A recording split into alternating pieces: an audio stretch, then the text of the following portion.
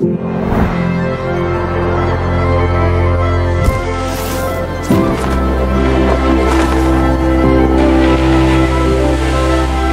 it ironic that the things that take our breath away are often the ones that keep us alive?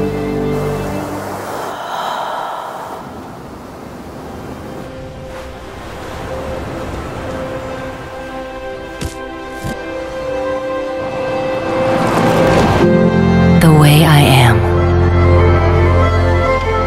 The Genesis G70 shooting brake